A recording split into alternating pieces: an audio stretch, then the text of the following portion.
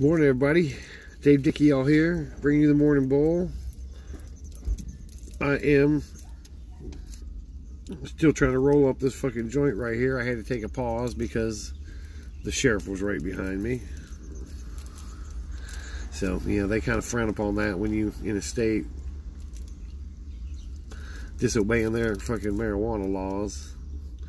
But, you know, fuck them. Anyway, all right. So I think we got this rolled. I am, dude. You know I'm smoking this fucking Chemdawg because man, this motherfucking stuff is this shit.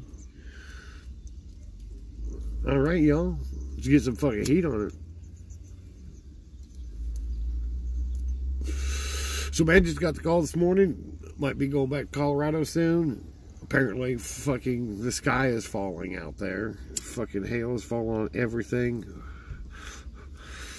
maybe another fucking four or five days here, and then I am gonna be going back.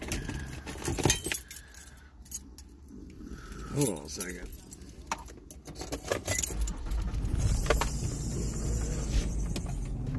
Put that window up that way, you know, I gotta hear all the people over there fucking jaw jacking, rebel rousing and shit like that.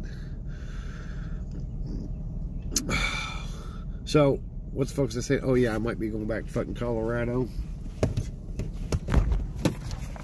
Oh, let me just get on up the car. I get to drive anyway, man. I can't drive from the passenger seat.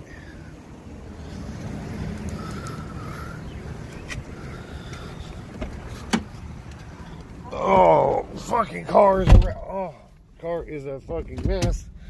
Anyway, y'all, I'm Dave Dickey. This has been the Morning Bowl. Peace out.